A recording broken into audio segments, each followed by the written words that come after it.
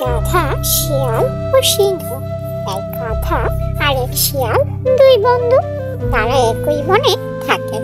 কেউ কাউকে ছাড়া থাকতে পারে না। গাধা বনের তাজা সবুজ শাকসবজি খায় আর শিয়াল পার্শ্ববর্তী গ্রাম থেকে হাঁস মুরগি ইত্যাদি খায়। একদিন তারা দুজনে বনের ধারে গল্প করছিল। হঠাৎ একটি সিংহ আসলো। গাধা খুব ভয় পেল। কিন্তু শিয়াল তাকে শান্ত করল। শিয়াল সাহস করে সিংহের দিকে এগিয়ে গেল এবং সে সিংহের প্রশংসা করতে লাগল। মহারাজ, আপনি আমাদের রাজা, কিন্তু সিংহ খুশি হলো না। গাধা কাছে না আসায় সিংহ খুব রেগে গেল। কারণ সিংহের গাধাকে আহার করার লোভ হলো?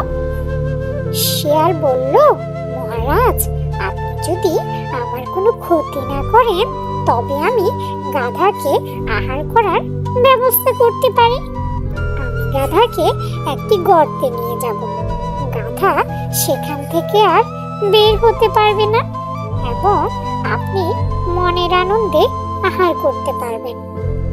সিংহ রাজি হলো। এবং শিয়াল গাধার কাছে ফিরে গেল। শিয়াল বলল, এসো সিংহ, চলে না যাওয়া পর্যন্ত আমি একটা গর্তে লুকিয়ে থাকি। আমি একটা ভালো জায়গা চিনি। শিয়াল গাধাটিকে বনের মধ্যে একটি গর্তে নিয়ে গেল।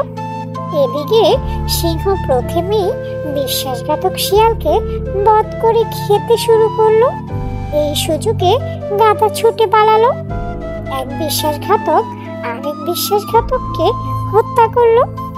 গল্পের শিক্ষা, কারোর সাথে বিশ্বাসঘাতকতা করা উচিত নয়। Subscribe my channel.